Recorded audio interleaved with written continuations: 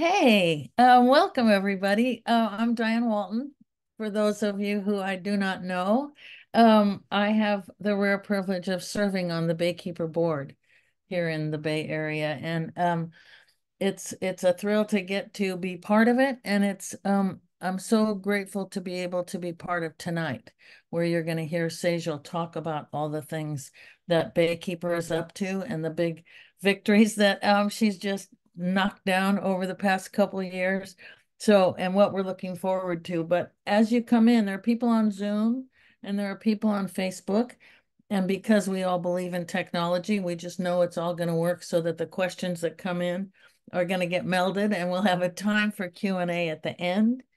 You'll see a Q&A box um, down below so now you're in the chat and then, but for Q&A, you're going to move over a little bit. So be careful about that. We have, somebody has already clicked the caption button. So that should be working. There's a black a menu at the bottom of the Zoom window for the captioning. And we are recording, of course, and we'll share it with you.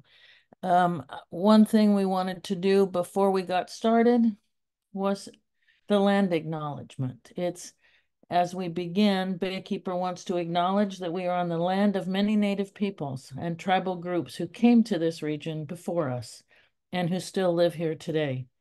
We recognize them as the authentic stewards of the land and of San Francisco Bay, and we respectfully support their efforts for Indigenous sovereignty and repatriation. In their honor, we pledge to take action to protect the shared waters that make up the bay and its vast watershed. So, um, part. Um, so Baykeeper, most people who are joining tonight, there's know what Baykeeper is. It's we've been around for 35 years now. Amazing with fabulous supporters like you, making it possible for to be the this this wild combination of science and litigation. Act on fact. It's not always popular these days, but these guys are fabulous and they patrol the bay, which is a thing that's near and dear to my heart in the activity portfolio that nobody else is out there hunting down polluters and going after them. And um, and the fact that the Baykeeper does that and wins um, 300 successful legal actions to date really, really has um, helped keep the Bay as healthy as it is today but we still need so much more. So without any further ado, I want to introduce Sejal. For those of you who don't know Sejal, what a treat you're in for. And for those of you who do, you knew that was coming anyway. She's uh, been at Baykeeper. She came straight out of law school in 2022 and um, is having, she had 22 year career to defending the Bay.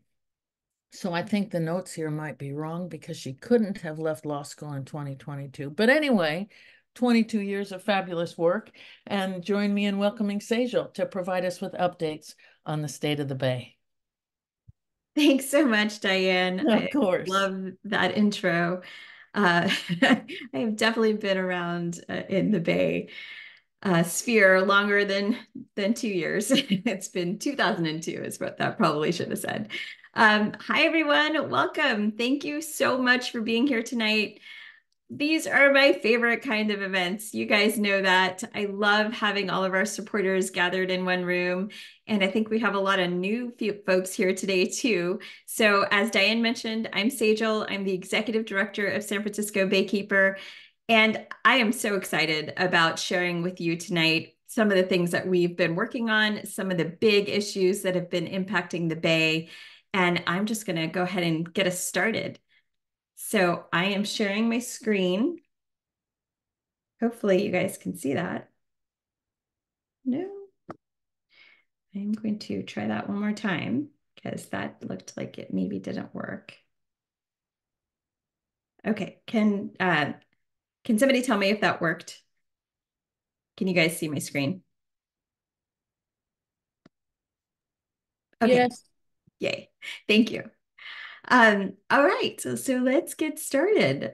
Um, as I mentioned, we are here today to learn about some issues impacting the Bay, and it truly warms my heart to see how many people are here on a Wednesday afternoon, evening when it's so gorgeous outside. I really love that you guys are here to learn about the Bay and to hear what we've been up to. You are amazing for caring about the problems facing the Bay, and you're really smart to educate yourselves about how we can tackle those issues.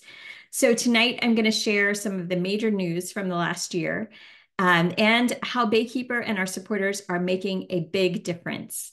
So that's you making a big difference. So let's go. Let's start with some context about tonight's event and about the Bay. So, if you're up for it, I would really love for you to engage with us tonight. I know we have some new friends here from the Dolphin Club, the South End, St. Francis, Patagonia, Levi's, and maybe even more.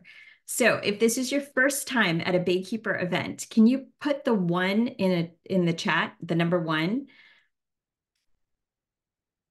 Awesome. Yay. Welcome, you guys. This is amazing. Thank you for being here and for being curious about the Bay and for wanting to make the Bay Area a healthier place to live.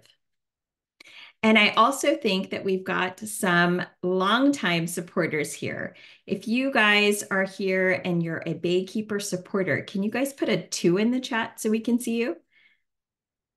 Yay, trickling in. Oh, yes, so many people. That's awesome. Thank you guys for being here.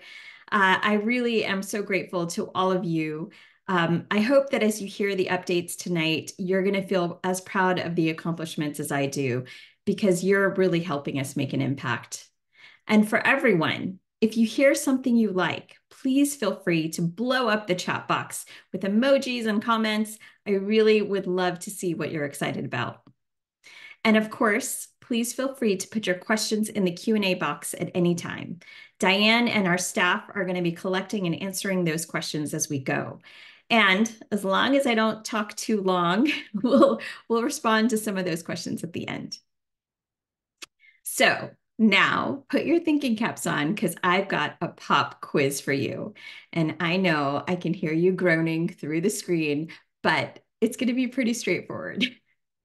If the staff could please post the questions, that would be great. Um, this is going to give you a little bit of context for the presentation tonight. I will give you a few seconds to respond. Yeah, they're just true, false questions, pretty straightforward. Don't worry, you won't be graded. Just take your best guess. And when we've got about 75% participation, we'll review the answers together think we're almost there. A couple more seconds. Get those answers in. All right, great. Let's review.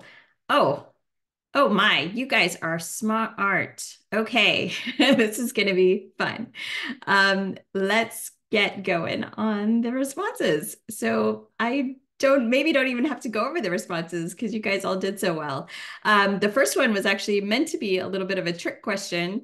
The Clean Water Act was adopted in 1972 and it helped spark new regulations that definitely helped reduce some pollution in the bay, like trash and raw sewage. But when we're talking about certain less visible pollutants like nitrogen, mercury, uh, selenium, microplastics, the bay is sadly more polluted than ever. So, from Baykeeper's perspective, question number one was false. Question number two is also false. The bay is a mix of salt water from the ocean and fresh water from the two biggest rivers in California, the Sacramento and the San Joaquin. These rivers meet in the delta and flow out the bay, and this creates a unique ecosystem for hundreds of plants and fish and wildlife some of which I'll talk about later tonight. And finally, for those of you who receive our monthly alerts, you know that this last question was false too. This is one of the reasons Baykeeper exists to watchdog the local agencies because they don't always do the right thing. I'll talk more about this tonight too. So you guys did so great. I'm going to give you an A plus. Good job. Now, did you know that San Francisco Bay is one of the most urban estuaries in the world? That means that there are many urban impacts and sources of pollution. And I'm about to share a lot of numbers with you, but don't worry, I'm not going to give you another quiz. I just want to give you some context for the updates I'm about to share. So less than half of the water in the bay's upstream rivers makes it to the bay because of water diversions.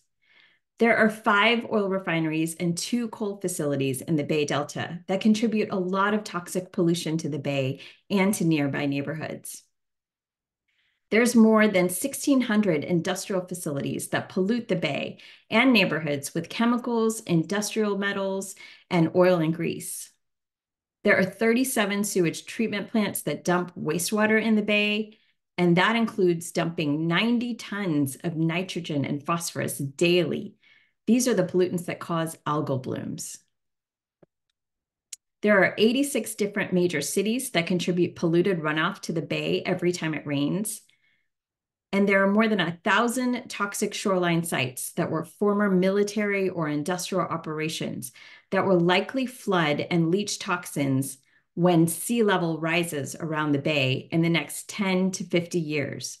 And many of these toxic sites, like Hunters Point in San Francisco, are already experiencing groundwater rise right now. The Bay faces these threats and more every single day. So let's move on to the latest news about some of these threats around the Bay. I'm going to cover three big topics in my update tonight. First, freshwater flows. This is the amount of water coming from the Bay's upstream rivers that I just mentioned. Second, fossil fuel pollution. I'll let you know what's new with coal and oil around the bay. And third, I'll share some updates about the sewage and stormwater pollution coming from our cities, including breaking news on a polluter we just caught red handed. As I mentioned, most of the water from snowmelt in the Sierras that should flow west towards the Pacific Ocean never reaches San Francisco Bay. That's because about half of the Central Valley's river flows are diverted to farms and cities outside of the bay's watershed. And in the past year, state agencies have proposed more diversions in the form of the Delta Tunnel and the Sites reservoir project, to the point where key native fish are going extinct. So here's what's happening. Last year, the Newsom administration proposed building a tunnel in the Delta. This red line shows how the tunnel will divert water out of the Sacramento River before it can reach the bay. That would instead send the bay's water to Southern California cities and industrial agriculture. It's not the first time something like this has been proposed and failed. The project is flawed because the state's CEQA, or California Environmental Quality Act review, shows that they failed to consider the tunnel's impacts on tribal people or on the communities who rely on the delta for water. And the state failed to properly mitigate the harm to fish and wildlife that are already struggling to survive. The tunnel also violates a state law known as the Delta Reform Act. This law requires California to reduce its reliance on the Delta and to restore the Delta Instead, the proposal does the opposite by threatening to increase Southern California's dependency on the Delta for water supplies and harming the, the ecosystem. This is why this past January, Baykeepers and our partner sued the state to stop the Delta Tunnel. Our lawsuit asks the court to keep water in the Sacramento River so the fish, wildlife, and communities that depend on cold, fresh flowing water can survive. Similar to the Delta Tunnel project, the Newsom administration also just proposed a new project last year that's a series of diversions and dams in the Sacramento Valley. This infrastructure project, known as the Sites Reservoir Project, would divert even more water from the Sacramento River. But as I mentioned, the river is already overtapped. Fish are going extinct, Fisheries are collapsing, and the Delta tribes and communities are suffering. Less fresh water in the Delta is also leading to severe toxic algal blooms and higher water pollution concentrations. The Sites project would exacerbate all of these problems. That's why Baykeeper and our partners just filed a legal opposition to the Sites project. During the hearings this summer, we'll be urging the State Water Board to reject the Sites' application and protect water quality, fisheries, and wildlife for all those who depend on these waters. And just to be clear, we're not just opposing these projects. We're also proposing solutions to better use California's existing water resources. The state needs to maximize water supplies by investing in more robust water recycling, stormwater capture, and water conservation. There's enough water in our system for all of California's needs if the state just makes science-based policy choices. Real quick, can someone tell me in the chat what one thing fish need the most to survive? Hint, this is not a trick question. Okay, I see it. I see it. Oh, I see lots of good answers in here. Okay. All of these are related, all of your answers are great, and they're all related to one thing cold, fresh flowing water. I love that you guys are paying such close attention. The watershed's fish need cold, fresh flowing water to survive and spawn, but our state agencies are failing to provide that basic need. And many other animals need these fish to survive. As more water is diverted, fish populations decrease and a domino effect occurs throughout the food web, starving everything from osprey to orca whales in the ocean. Longfin smelt is a native fish that has declined 99% in the bay since the late 1980s. But California has repeatedly failed to improve Bay Delta water quality standards, which would protect longfin smelt and many other fish. So Baykeeper sued the Biden administration last April to list the smelt as a federal endangered species. And we won. But when you know it, the federal government missed their deadline to list the species last fall. So we had to sue them again in December. Once we win and longfin smelt are federally listed, the US Fish and Wildlife Service will have to require California to increase freshwater flows into the bay during certain months in order to protect the longfin smelt. San Francisco Bay and its watershed are also home to the only known population of white sturgeon in California. White sturgeon have been around for about 46 million years. They are the ultimate survivors, but excessive water diversions and overfishing have caused the population to decline by 80%. The white sturgeon population has also been directly harmed by the two consecutive years of harmful algal blooms in the bay. So Baykeeper and our partners just petitioned the state to list the white sturgeon as threatened under the California Endangered Species Act. And we also petitioned the federal government to list the bay's white sturgeon as threatened under the Federal Endangered Species Act. When this fish is listed in both ways, state agencies will have to adopt rules and make decisions that protect them. And finally, we've got the iconic Chinook salmon. I just saw sad news yesterday that there are too few salmon in the bay's watershed this year. So California may have to close the fishing season again before it starts this May.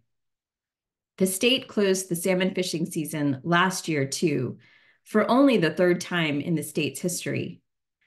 Last month, Governor Newsom unveiled a plan that claimed it would help California's embattled salmon fishery. But the plan completely ignored the bay's salmon populations. Like all other fish, salmon need water to survive. But Newsom's new plan does not restore flows in the bay's rivers.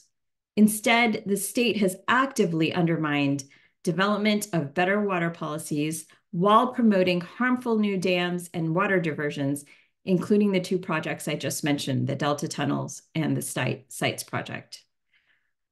The governor's plans will actually harm more salmon than help them in the Bay Delta. So in addition to challenging those two infrastructure projects and fighting to get endangered species listings for the Bay's fish, Baykeeper and our partners have two pending lawsuits to force the state to adopt stronger water quality policies that would improve freshwater flows to the Delta.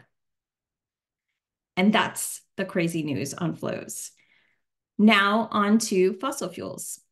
As many of you know, the fossil fuel industry has a strong hold around the Bay Area. We have many active refineries, two of the West Coast's only coal export hubs, and a number of various projects in the works. In fact, did you know that there was a recent proposal to create a new oil drilling field in Brentwood right next to homes and schools?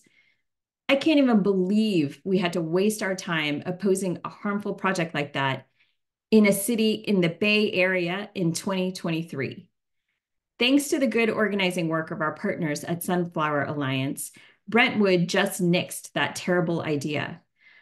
But it goes to show that the fossil fuel industry is trying to expand its polluting hold over the Bay Area. So let's go over some other ways that we're standing up to this dirty industry. A few years ago, someone called our hotline to report pollution at a facility at the Port of Benicia. Our field investigator captured drone footage that showed clouds of black dust floating in the air and black plumes of soot spreading in the bay. Six different times. We researched and discovered the pollution was petroleum coke the leftover waste of oil refining that this company imports ships overseas to be burned for energy. The pollution was getting into the bay, into Benicia neighborhoods, and contributing to the global climate crisis. So we sued Amports. Instead of cleaning up the port's operations, Amports got defensive and blamed Valero, the oil refinery that produces the pet coke. So we added Valero to our lawsuit because no company is too big to be held accountable, even if it's number 16 on the Forbes Fortune 500. So now we're in the middle of a legal battle to make sure these polluters clean up their mess and stop polluting. The latest update is that since we caught them red handed, Valero realizes they will have to agree to a specific plan and a timeline to clean up the operations and comply with the law. But Amports has not been as cooperative. So if the companies don't work with us to solve the pollution problems, we'll be going to trial against them in federal court next year. And then we've got updates on Oakland Coal. For nearly 10 years, a developer has been attempting to build a new export terminal in Oakland. And for many years, they tried to hide that they wanted to send 9 million tons of coal from Utah through the terminal. Because of Baykeeper's successful prior case to reduce pollution from the Levin coal terminal in Richmond, we know a terminal in Oakland would be bad news. It would mean more trains moving through Bay Area cities, shedding hundreds of pounds of coal dust in their wake. It would be a facility on the shoreline spilling toxic coal into the bay, and it would increase the rates of asthma and heart disease for the already burdened residents of West Oakland.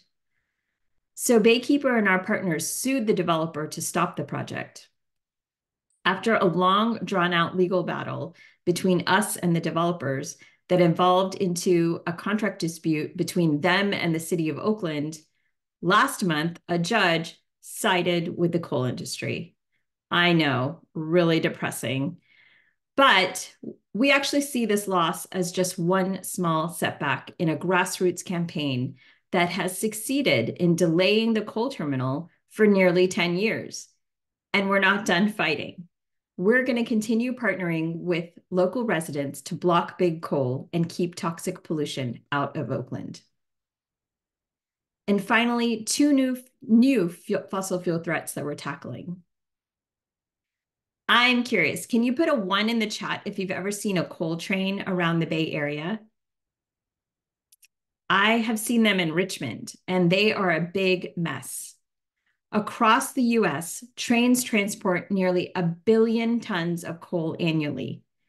Each open train car pollutes approximately 500 pounds of coal per trip. Coal dust blows off the trains and into nearby waterways. It also gets into neighborhoods where it can cause severe health problems. The Clean Water Act gives EPA the authority to control this pollution but the agency has failed to do that. So this year, Baykeeper partnered with a dozen frontline groups across the country to petition AP, EPA to regulate coal trains.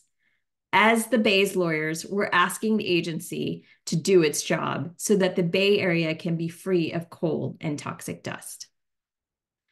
The Clean Water Act also requires EPA to limit the pollutants from oil refineries and tighten those limits every five years when treatment technologies improve. But EPA has never set limits for some of these oil pollutants, and it has failed to update the limits for refineries since 1985. That's right, about 40 years. That means the Bay Area's refineries dumped 1,057 pounds of selenium, 1.2 pound, million pounds of nitrogen, 32,298 pounds of oil and grease, 525 pounds of arsenic, 271 pounds of lead, 196 pounds of cyanide, 142 pounds of hexavalent chromium, and more into the bay. And that was just in 2021. That's a lot of pollution. Scientists have found that this pollution is causing toxic deformities in fish that swim near the refinery outfalls.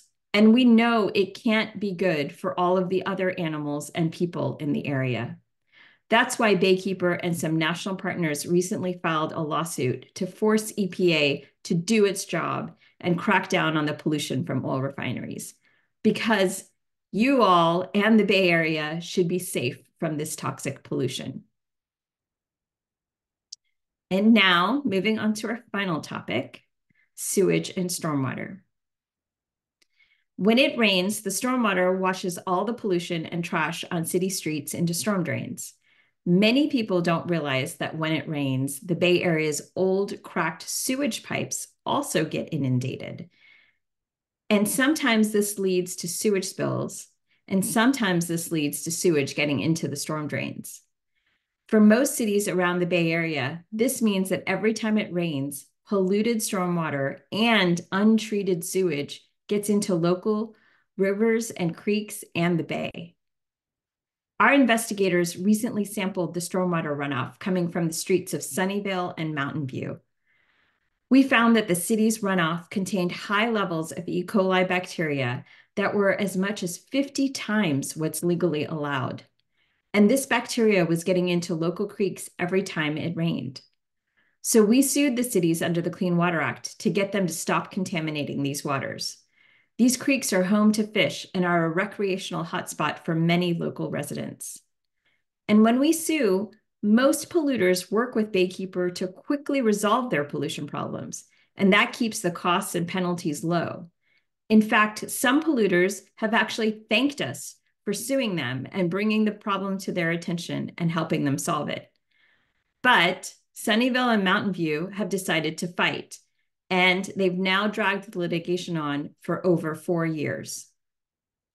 Most recently, the cities decided to try to take advantage of the Supreme Court's recent bad ruling in Sackett, which limited the scope of the Clean Water Act. The city's lawyers decided to argue that the Sackett decision meant that South Bay waterways, such as Stevens Creek and Calabazas Creek, shouldn't be protected under the Clean Water Act. It was a radical misapplication of the Supreme Court ruling. These local creeks should clearly be protected under the Clean Water Act. And fortunately, the judge in our case just agreed with us and dismissed the city's claims. So last month, we activated people around the Bay Area to take action and tell the cities to stop trying to avoid their responsibilities. Thanks to you, the cities have received more than 300 letters asking them to do the right thing. The city should stop fighting in court and instead follow the law to protect local creeks and residents by upgrading their stormwater systems and reducing pollution. And we could help them if they would let us. Put a one in the chat if you remember the massive algal bloom that turned the bay brown in 2022. All right, I see lots of responses coming in on that one. Uh, that's right. About two years ago, the bay was hit with an unprecedented algal bloom that grew out of control and turned the bay brown. Then, this past August, recreational users called us again to report that the water looked reddish brown. When we get these reports, Baykeeper's field investigators are often the first to the scene, sampling, alerting the agencies, and diagnosing the problem. The scary part is always what follows the bloom the massive die off. Countless creatures washed up dead on the bay's shorelines sharks and sturgeon, huge striped bass, and tiny minnows. It's a one two punch. The algae spread and can release toxins deadly to fish. And at the same time, the algae die off and suck up the oxygen out of the water, and that suffocates aquatic animals. We need to do something to prevent this from becoming the new normal every summer in the bay. The blooms are caused by a combination of dry weather, bright sun, and warmer waters. And the algae also need food. That's where the excessive pollution from the Bay Area's old wastewater treatment plants come into play. The Bay is one of the top polluted waters in the world for nitrogen and phosphorus. And Baykeeper is the only nonprofit group actively working on this issue and advocating to reduce wastewater pollution in the Bay. Now we've doubled down to advocate for a stronger permit that imposes stricter controls on sewage plants. That permit is scheduled to be released later this year. We're urging Bay Area regulators to issue a strong permit that supports upgrades that include wastewater recycling and wetlands restoration. This will reduce the pollutants we flush into the bay, filter pollution out of wastewater before it's discharged, and it will have the added benefit of increasing shoreline resilience to sea level rise. A stronger permit that requires these kinds of upgrades will be a win-win-win for the Bay. And finally, last but definitely not least, put a one in the chat if you've ever walked around San Francisco and smelled the stench of raw sewage. Mm-hmm. Yep. I see all those answers coming in. It's really gross, right?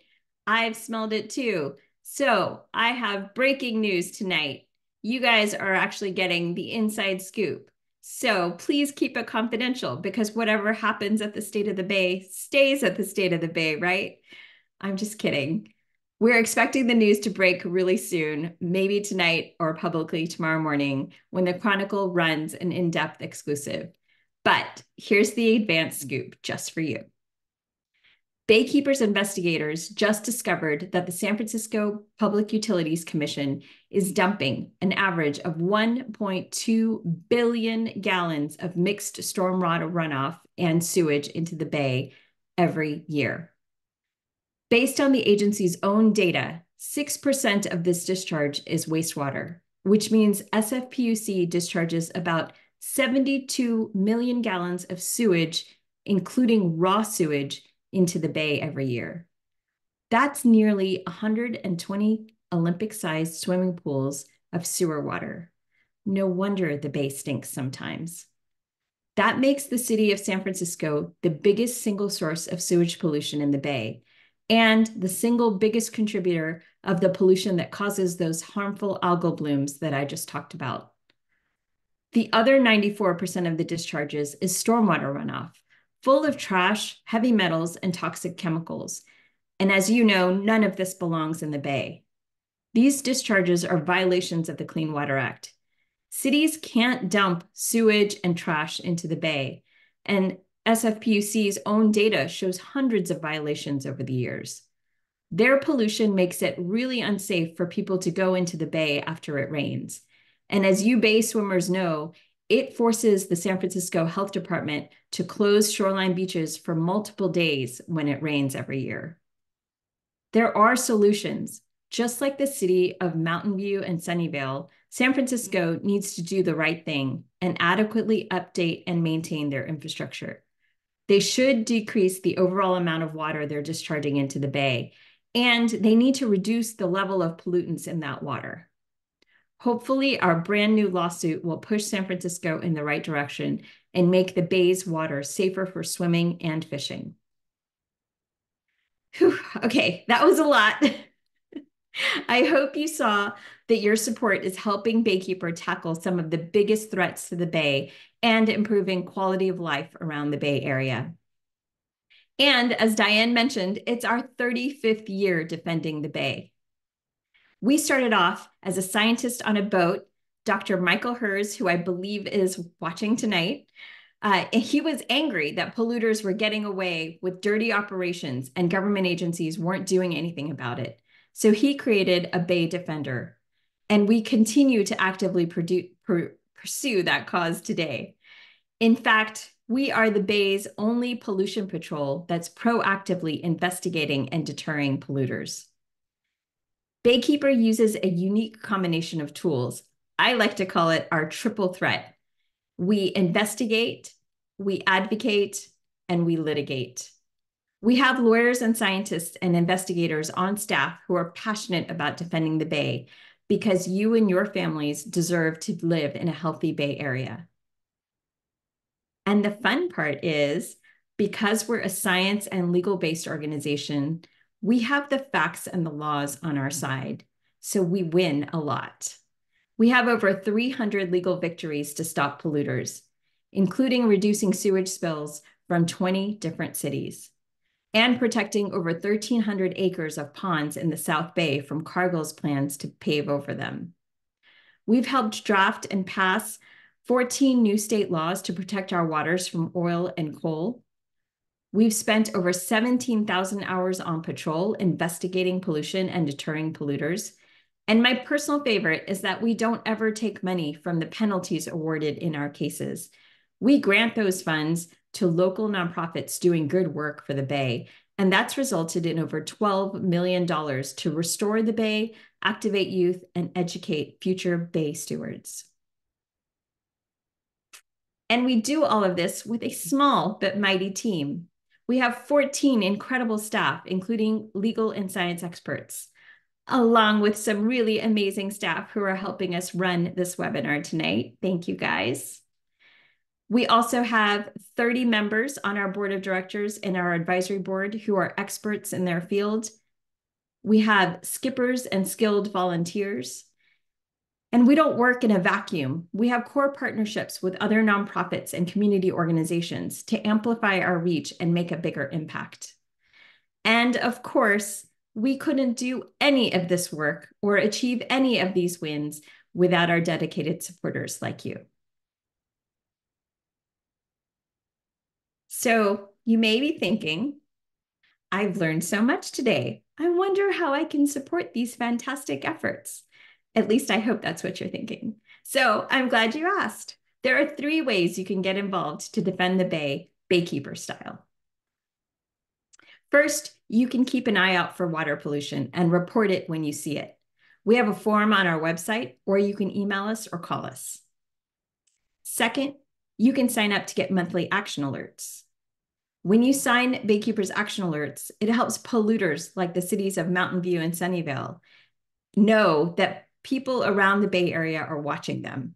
And by acting together, it makes our voices louder and forces them to listen and hopefully do the right thing. And finally, if you're not a Baykeeper member already, or even if you are and you just give once a year, I'd like to encourage you all tonight to sign up to become a monthly donor. Protecting the Bay for just $10 a month or $20 a month or $50 a month can go a long way and make an impact. And some of you may not know this, but we stay independent by not accepting money from polluters. A big thanks to those of you who already give to us and to those of you who I know are already monthly donors. For those of you who aren't members yet, I'm going to tell you a little secret. While a lot of folks out there lie awake at night feeling gloomy about the climate crisis and the state of the world these days, Baykeeper supporters can rest a little easier. They know they're the backbone behind an effective organization making a difference around the Bay Area. And now you can join them and feel better too. By making a gift tonight, you're also counted as a Baykeeper member. So that means when we confront entities like Valero or SFPUC, we can say we represent thousands of people living around the Bay Area. And the more members we have, the bigger impact we can make. Thanks for joining us in these different ways to defend the Bay. And thank you for joining us tonight. I hope you've learned how we we're making a difference together, and I hope you're inspired to stand by our side as we tackle the biggest threats to the Bay in the coming year. And look at that, Diane. I finished on time. So let's see if we can answer some questions. You're amazing. How did you do that? It's like exactly what you said it would be. So cool. Um, so there's lots of questions. We're not going to have time, of course, to answer all of them. But um, one of the ones is about the the PUC piece and and who do we call? How do who do we write? What do we do when we see the news?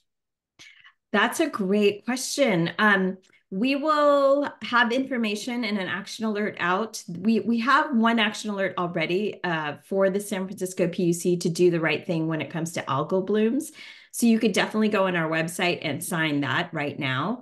Um, when the news comes out, we will put, be putting another action alert out to let the uh, San Francisco PUC know. So just sign up for our action alerts, and then you'll get that one when it's available. And we'd love to have you sign on because the more people that send that in, the more they're going to see that people care about this issue. Yeah, cool. Uh, another question that I think a couple people were wondering, I think they've they've not gotten to spend as much time with you, is um, what exactly? What are your border? Where's your boundary? Where, what's your what's your scope of action? Yeah, so we work throughout the Bay's watershed, uh, which is many, many, many square miles. Uh, and we typically work, um, depending on what the issue is and what it calls for, we'll work on a region wide basis. So we'll work from up in Redding all the way down to Fresno and Bakersfield. We've sent field investigators out to investigate pollution in those areas, to capture a dry San Joaquin riverbed, which is shocking when you think about it being the second largest river in California being dry. Uh, so we captured that with drone footage. We also captured up near um, Keswick Dam in the north area. Uh, we captured a lot of salmon fish suffocating because of a lack of oxygen and cold water. So um, there's a lot that we do in the upper watershed. And as you can see from all of our flows work, we are thinking very regionally about the entire watershed and making sure that the bay is protected throughout the watershed. Cool. Um, another question that's a little bit more detailed and might be more staffy, but um, but your staff is so fabulous. So it is. Uh, people are wondering about how you leverage the water sampling in your investigations and what tools you use. Yeah, so that's a great question. Um, there are, are a couple of organizations out there that do water quality monitoring on a regular basis, just ambient water quality monitoring, like San Francisco Estuary Institute, which is a partner of ours. Um, we don't do that kind of ambient water monitoring usually. We are looking at pollution, and when we see pollution, we take samples, and then we use that those samples as evidence in our advocacy, in our litigation, uh, when we try to strengthen policies. Um, we're very data oriented in that way. So as we're trying to strengthen the Bay Area's um, algal blooms permit, so their nitrogen and their phosphorus permit, we are going to be taking samples. We've got a community science program that we're starting this summer along with our partners at San Francisco Estuary Institute. And we're going to be taking those samples on a regular basis, monitoring for nitrogen and phosphorus in the water and that will actually go into advocacy um, to try to make that permit a lot stronger. The uh, it's so fun. See anyway, so um, it's it's just such great work that you guys do. Oh, Somebody's asking about the Martinez refinery case. Are you involved in the Martinez refinery case? So we've been working and talking with both the local residents groups there and also with the attorneys who are working on that case. There isn't a very clear clean water angle. So for those of you who aren't familiar with this issue, the Martinez refinery has spewed many on many occasions in the last couple of years uh, toxic ash into the air and sometimes pet coke as well. Uh, and these discharges have affected a lot of the air quality uh, to the point where it's kind of ridiculous. The Martinez refinery sends out an alert and it says, uh, please don't go outside, please shelter in place, blah, blah, blah. And I basically read that to say, please don't breathe. And that just to me feels like they're imposing on a fundamental human right. Uh, so I'm really glad that there are community groups there that are doing a great job. Um, Healthy Martinez is one of the groups that we work with. Um, and that there's a law firm and a couple of law firms and the state AG's office that are involved in, in litigating against that. The um, this is one that people wonder about all the time, um, which is given the levels of pollution, how, how come people get to fish, and yeah. and when the fish they eat are are going to make them sick? Yeah, it's a really sad situation. Um, many people have to fish out of the bay just for food uh, as a food source. Uh, so those who are not electing to fish, the ones who kind of have to fish, um, those are the ones that we are really working to try to protect. Uh, there's a there's a lot of different pollutants in the water that can affect the fish that that they eat. Um, mercury and selenium, PCBs. And so we've been working on a pollutant by pollutant basis to try to reduce those those pollution in the water. Uh, but we've also been working on, um, like you saw with the EPA lawsuit, trying to reduce pollution at the source as well. Uh, but there, yeah, there needs to be more education around those issues. There needs to be more consideration of that in the permits that are adopted, because sometimes the standards that are set for allowable pollution don't actually take into account the fact that some people have to eat more fish out of the bay than is advisable. So it can be a real health risk. Um, something I know you're not looking at all of this. People are so appreciative of the information that you're bringing. Oh, good. And, and how you're how you frame it, how you um how you show the action through the morass. And there are questions about what what's the number one priority and then um and then also what future threats do you see coming there that they want to know what you see yeah um okay so i don't know that i can limit it to to one. Uh, baykeeper has eight main priorities that we work on. These are threats that our scientists have identified as the biggest threats to the bay. Um, at some point our website will reflect all eight of those. We're actually working on a new website launch so stay tuned for that. Um, but I would say in this current moment, the biggest threats that we see uh, are definitely the flows issue. Not having enough freshwater flows into the bay is actually making our ecosystem more saline. And so, with additional salt, it's actually changing our ecosystem.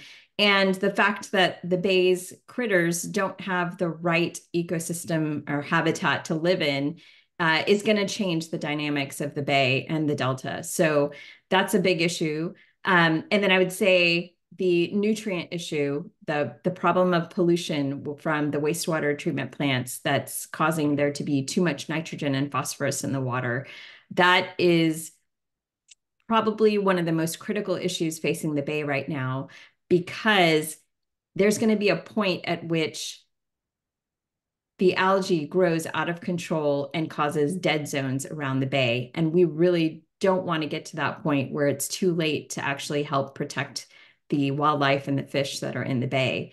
So I'd say those are the two biggest issues that we work on right now and are trying to prioritize. We're hoping not to see another algal bloom and algal outbreak this coming summer. And we're working really hard to make that permit as strong as possible to prevent this kind of pollution from getting into the bay for much longer. Um, and then I would say the biggest threat that I see coming is related to sea level rise and toxic sites around the bay. So this issue is one that I didn't really talk about tonight, uh, but I will probably talk about it at the future State of the Bay next year, um, just because it's something that's top of mind. There are sites around the bay that are toxic. They've been um, kind of pollution laden with different chemicals and metals in the ground from old operations. And the sea level rise issue is becoming more and more critical to think about now. Usually, when people hear sea level rise, they think, oh, maybe 100 years from now, there's going to be a problem. But no, I tried to make clear in my little slide uh, that we're going to actually see one foot of sea level rise, most likely within the next 10 years. And that's a big deal for low lying lands. So when the sea level rise gets onto these lands, you'll actually have the toxins in the, the soil leach out into the bay and leach out into communities and come into contact with people. And we're actually seeing this as a really huge problem already in some sites like Hunters Point. Um, the the problem is that water moves, as most people know. So groundwater is actually rising right now. And it, we don't even need to wait for sea level to rise because groundwater is rising as the water table is increasing overall. And so we're seeing groundwater problems actually causing pollution issues at Hunters Point and other sites like that around the bay. And that's already happening. So it can only go get worse from here. We need to really be prioritizing cleaning up those sites and not making really stupid development decisions that we're seeing some cities make right now. Um, building housing on shoreline sites that are going to be inundated with water in 20 or 30 years and really contaminated in 20 or 30 years. So not a good idea. The um the, there's a there's a recurring theme of, of people really, really, really wanting to help. And I, I think that goes back to the slide that you just, you know, your, your last slide had the, had the pieces. You might want to go over that again. There are a couple little uh, more specific things about projects. So there's, have you been involved in the Redwood City Docktown Marina pollution? We have followed that issue from afar. Um, there are a lot of different politics in play there. Uh, if somebody has more information about how we should get involved from a pollution and protecting the bay standpoint, I'm all ears. Uh, there seem to be a lot of different forces at play down there. So um, happy to happy to hear what people have to say.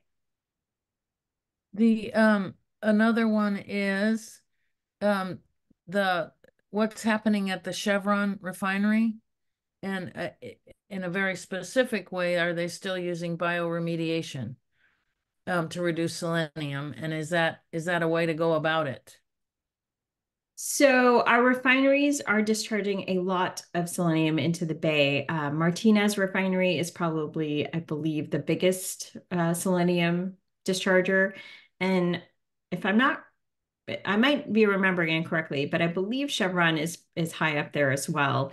Um, so these efforts are not working as well as they should be. There's still too much selenium coming out of the refineries. And so there needs to be a tightening of those standards. And that's one of the reasons that we're holding EPA accountable because they really should be revisiting these standards that they set back in 1985 and updating the limits to encourage more bioremediation and things like that, technologies like that, that will remove pollutants like selenium out of the discharges before they get into the bay.